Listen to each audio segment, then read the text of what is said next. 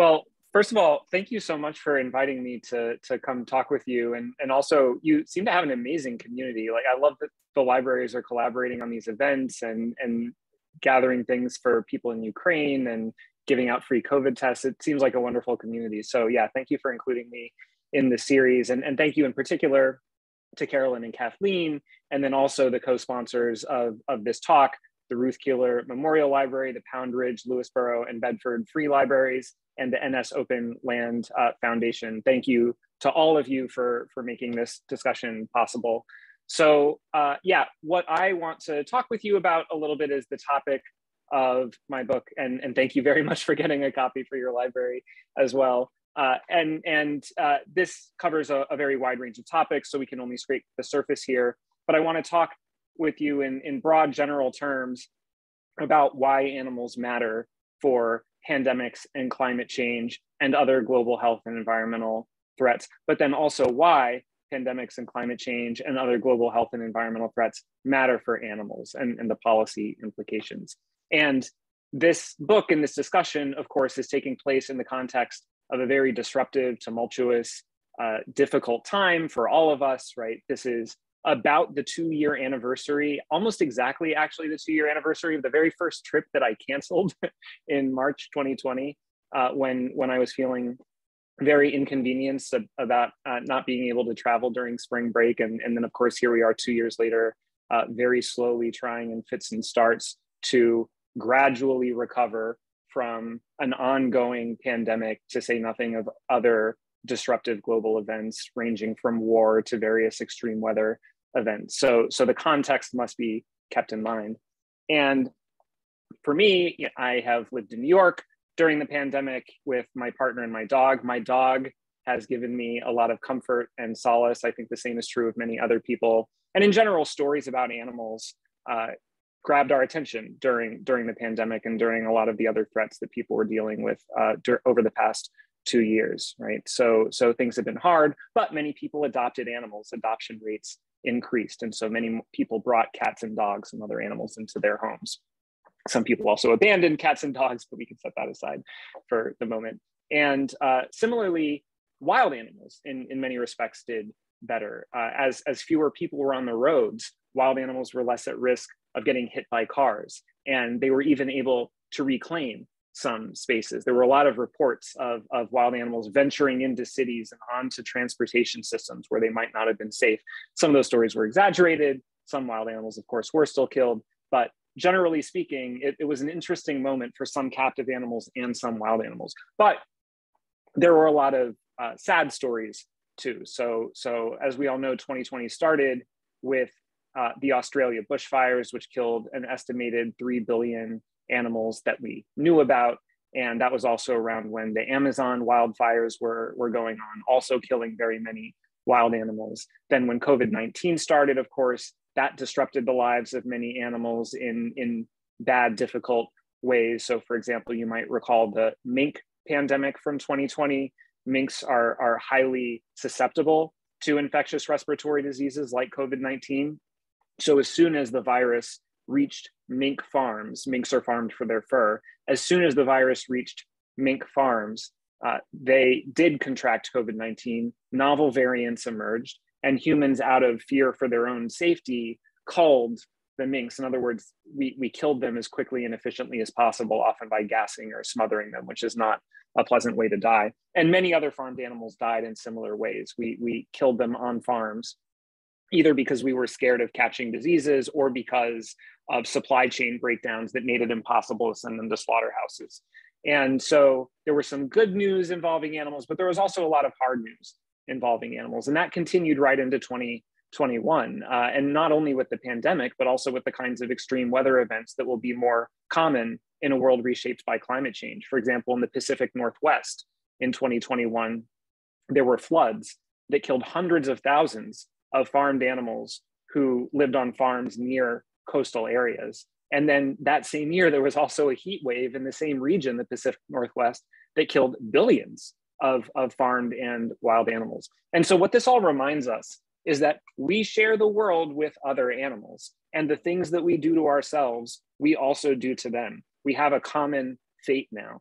And so when human activity increases the number of outbreaks in the world and increases the frequency and intensity of extreme weather events like fires and floods, that impacts other animals too. And then an even more tragic part of the story is that many of the activities that are causing more outbreaks, causing more fires, causing more floods, those activities are in and of themselves exploiting and exterminating billions of animals, trillions of animals in some cases per year. And this is why animals are part of global health and environmental threats like pandemics and climate change. They are a central part of the story, both as causes and as victims.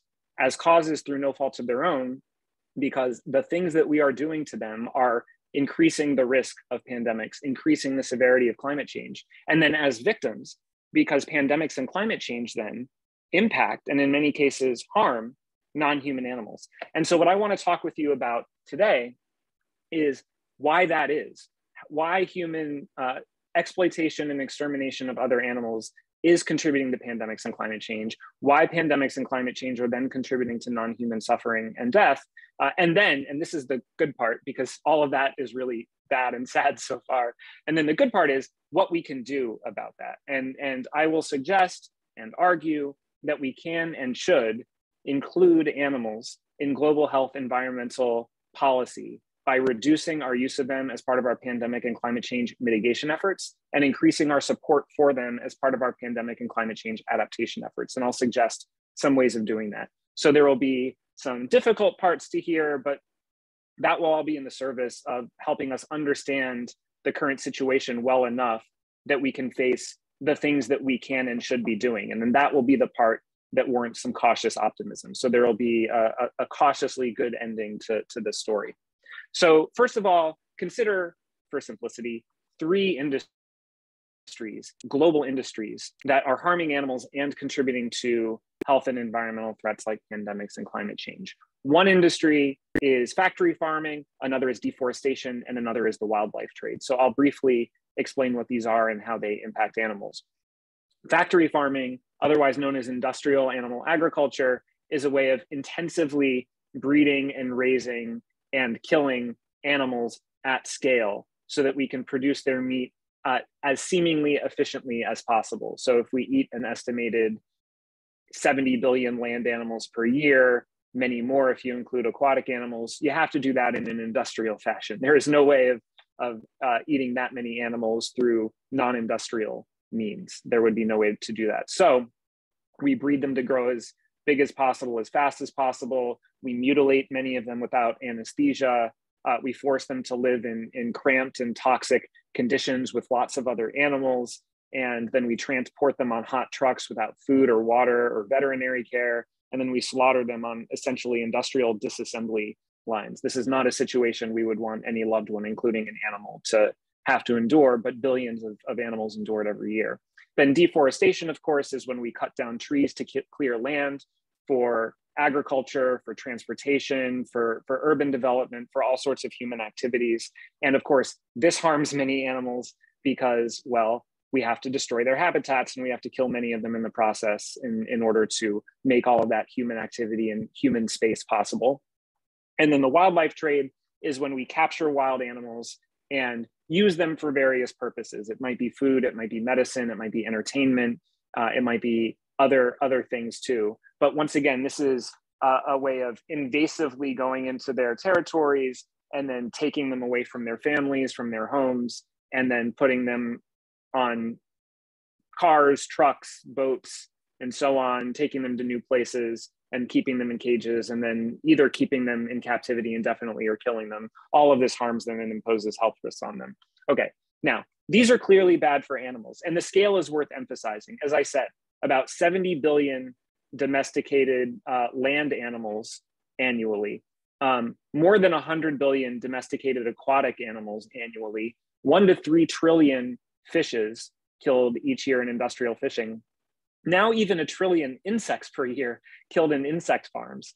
Uh, and that could go as high as 50 trillion by, by the end of this decade. So, a huge amount of animal suffering and death, much of which, as I'll suggest a little bit later, is completely unnecessary at this point because we do have access to alternative food systems that we could be investing in instead.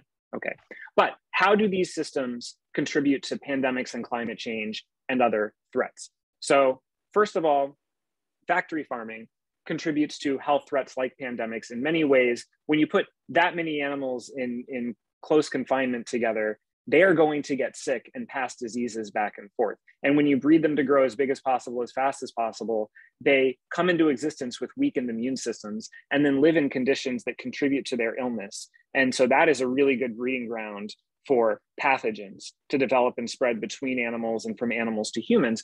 And then when you uh, use antibiotics and other antimicrobials to suppress the spread of disease and stimulate growth, which by the way 80% of antibiotic use in the united states is all in animal farms 80% when you do that it becomes the ideal breeding ground for antibiotic and antimicrobial resistant pathogens like covid-19 so factory farms are ideal breeding grounds either for new uh, diseases or bacteria mutations or for current ones to spread very quickly across non-human and human populations uh, now, similarly, deforestation also contributes to pandemics because when we cut down a bunch of trees, we encounter more wild animals and they carry thousands of viruses that have the potential to transfer to humans. And we reduce forested biodiversity. And when you reduce forested biodiversity, that makes it easier for some zoonotic diseases to spread across animal populations.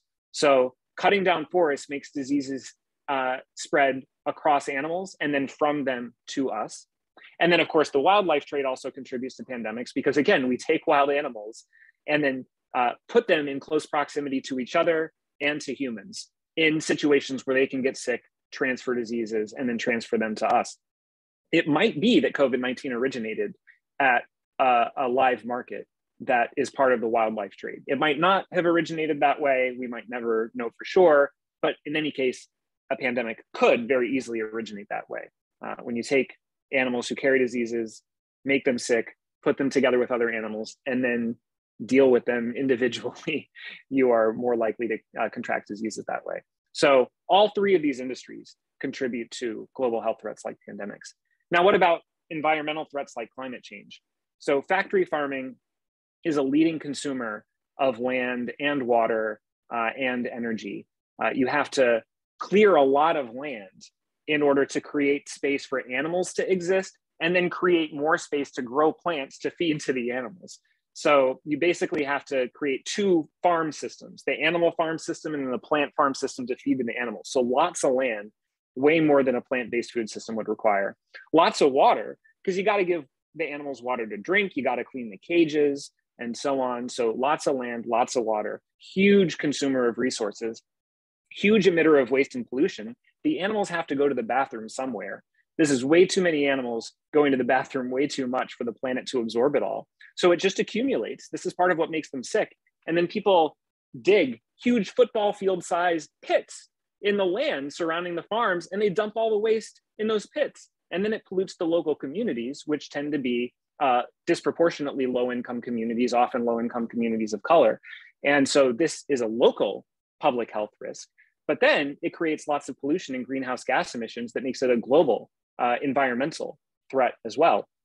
In particular, about 9% of global carbon emissions, 37% of global methane emissions, and uh, 65% of global nitrous oxide emissions, adding up to about 14.5%, 14.5% of global human caused greenhouse gas emissions, all attributable to this one industry, factory farming.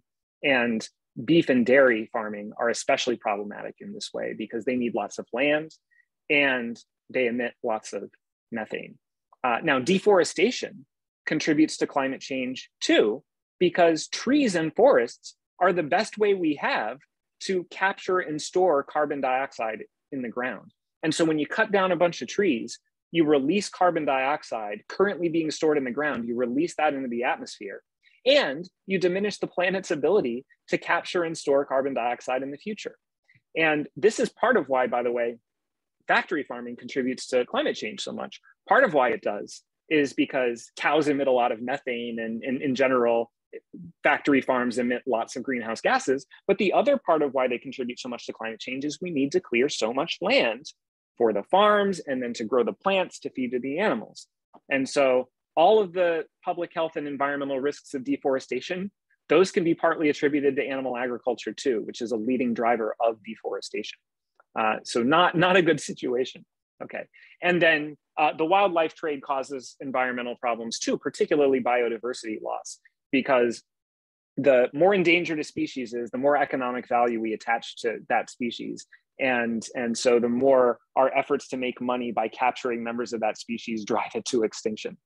And uh, so, so in general, all three of, of these industries are bad for public health and bad for the environment. Now, briefly, I want to emphasize the second half of this story too, because animals matter for pandemics and climate change, not only as causes through no faults of their own, but also as victims. When pandemics and climate change occur, harms them all over again. So, so when we harm them, those activities also make these threats worse. And then when these threats get worse, it then harms animals again. So they really get, get hit on both sides of this equation.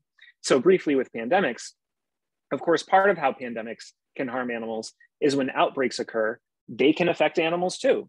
Like I said, many non-human animals are, are susceptible to zoonotic diseases like COVID-19 as well. Uh, minks have tested positive for it, deer have tested positive for it. Many of the same respiratory diseases that harm humans also harm other primates and uh, sometimes cats and other animals. So, so one way uh, an outbreak or an epidemic or a pandemic can harm other animals is simply because they get sick. But then another way that it can harm other animals is through an increase in human violence or neglect. As I said before, part of what made animals so vulnerable during COVID 19 is that we abandoned animals we would have otherwise taken care of, or we culled or euthanized or sacrificed animals we otherwise might have treated a little bit differently because we were scared of getting sick or because we lacked the resources or the will necessary to take care of them.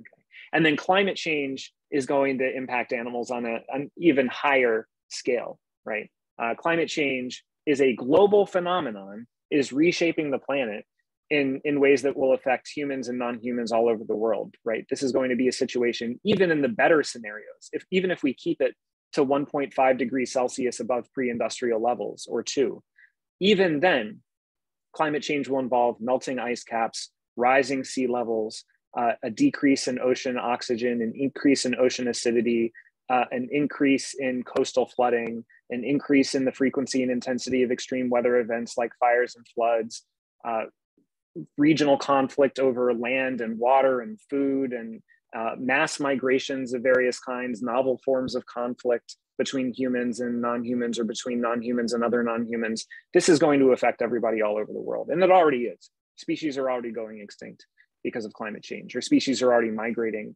and then humans are doing what? Welcoming them into our communities? Of course not. We're calling them invasive species and we're killing them, right? Uh, and, and that will only happen more as the, the climate migration crisis for both humans and other animals gets worse. And so once again, as with pandemics, climate change is going to impact animals not only directly through fires and floods and, and other extreme weather events, but also indirectly through an increase in human violence and neglect. We are going to kill animals more because we will experience them as invading our spaces and we'll neglect them more because we'll be dealing with our own disruptions and we might lack the the capacity or the, the political will to take care of them as much as we might have done otherwise. So in both the case of pandemics and climate change, you see animals as a central part of the story on both sides of the equation, right? Our exploitation and extermination of trillions of animals per year is contributing to global health and environmental threats like pandemics and climate change. And then when those disruptions occur, they harm animals directly by exposing them to outbreaks and fires and floods and other issues, and indirectly by exposing them to increased human violence and neglect. Uh, so that is the part that is hard to hear. the part that I hope will be a little bit easier to hear is that there are things that we can and, and should be doing to improve this situation. And, and I can uh, close by briefly mentioning some of them. Some, some big picture uh, frameworks that we can keep in mind for pursuing health and environmental policy, and then some specific health and environmental policy approaches that might be useful. So first of all, general framework for thinking about health and environmental policy.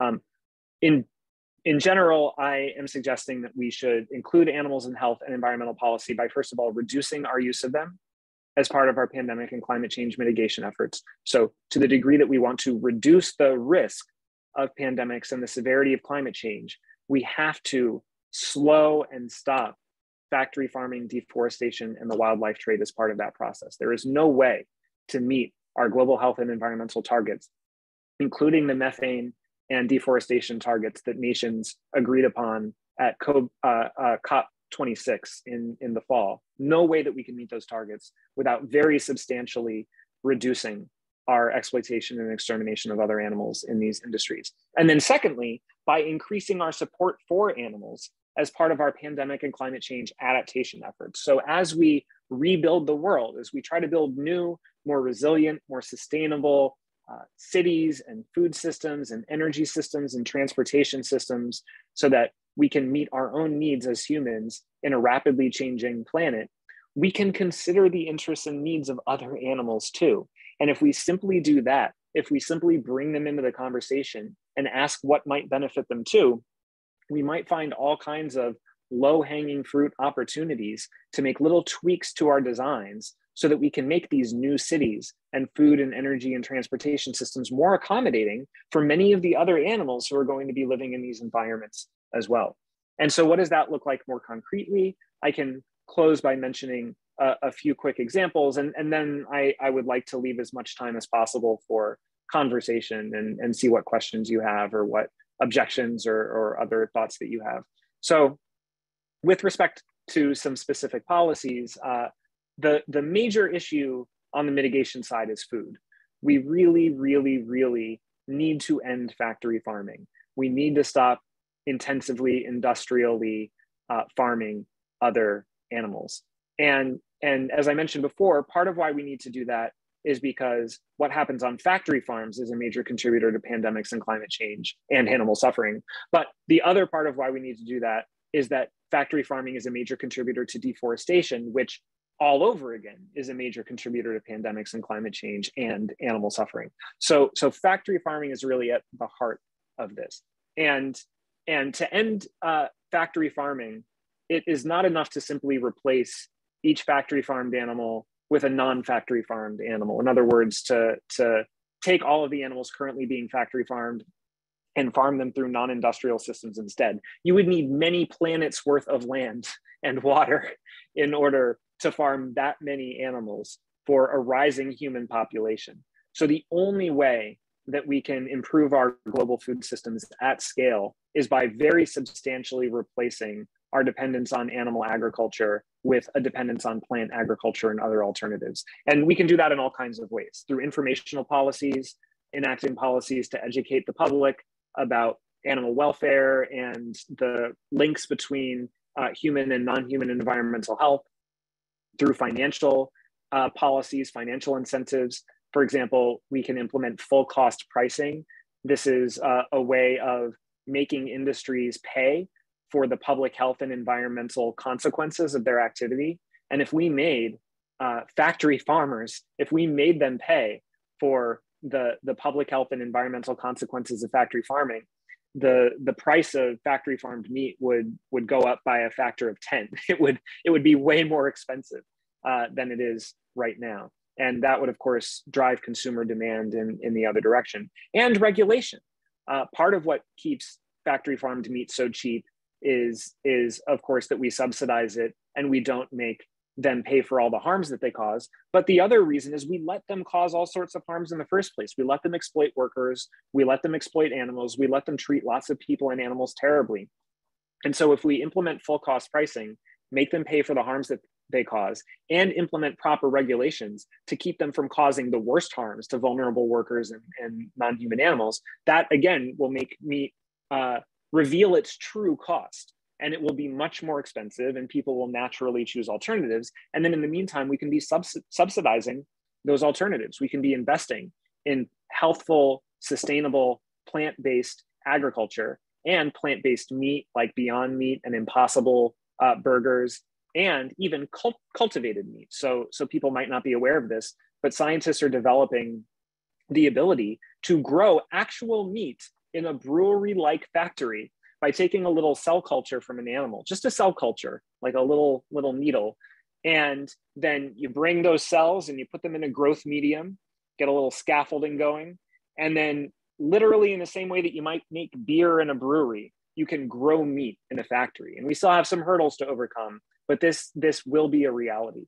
And these alternatives, plant foods, plant based meat, and cultivated meats, can and will give us tasty food, healthful food, uh, sustainable food without having to breed and raise and kill billions, hundreds of billions of animals per year and drive the planet to collapse in the process. So that's the main thing that we need to do. But then, as I said, in addition to reducing our use of animals, we also need to increase our support for animals. And there are all kinds of things that we can do around that too. One is investing in research and advocacy. We need more research so that we can know more how to protect other animals and advocacy so that we can care more about protecting other animals. But then we can also do basic things like uh, create animal welfare impact assessments or include animal welfare in the other impact assessments that drive policy decisions. When we need to pick policies, we go create some impact assessments. We figure out what the expected impacts of this policy will be. And if we simply include animal welfare as a variable, then we bring them into the conversation and we can think about them, we can consider them when selecting policies. And once we do that, once we bring them into the conversation, get an animal welfare office in a, local government, include animal welfare and impact assessments, uh, talk about them before we make a decision, then there are all kinds of things we can do. When we reform education systems, we include more coverage, more material about animal health and welfare and the links between human and non-human uh, and environmental health and, and well-being. And uh, when, when we create new jobs, when we have jobs programs so that we can have just transitions for workers transitioning away from uh, jobs in, in the food and energy and transportation sectors that we need to end. We can create new jobs where they're caring for animals instead of the old jobs where they're harming them. So we can train more veterinarians, uh, more people to provide animals with care, more people to provide forests with, with care. Uh, and then social services, we can set aside more resources for food and medicine for animals. We can treat their health issues. We can have resources that we can use to treat their health issues. And that way, when the next outbreak occurs, we'll have other things that we can do besides simply killing them all. We won't need to kill them all because we'll be able to take care of them and limit the spread of diseases that way in the same way that we aspire to do for ourselves. And infrastructure. When we're building new cities, uh, which we need to do so that they can be more resilient and sustainable, we can do basic things like include bird friendly glass on new buildings and, and vehicles so that there are fewer collisions with birds that harm us and them. And uh, we can include animal overpasses or underpasses or corridors on new transportation systems. So again, when we build the green rails of the future, there will be fewer collisions with animals. And again, that will be better for us and for them. Now, in the long run, we might need to seek very uh, much more transformative changes to our basic social and political and economic and ecological structures. And we could talk about that in the discussion if, if you want. But in the short term, there are these low hanging fruit ways we can very substantially reduce the harm that we are causing to other animals, very substantially reduce our complicity in health and environmental threats like pandemics and climate change, and therefore very substantially reduce the indirect harms that we're causing to other animals via these threats. And we can be building capacity to take care of animals on the other end to the degree that we are still harming them as much as we might be trying to stop. And so those are my uh, initial suggestions. As, as ambitious as those are, they're easy, relatively speaking. The harder things will be what come next in the, in the coming decades. But if we start there, then I think we can make a lot of progress. And so I'll, I'll, I'll stop there to see what questions or comments you have. Uh, but thank you for listening. I really appreciate it.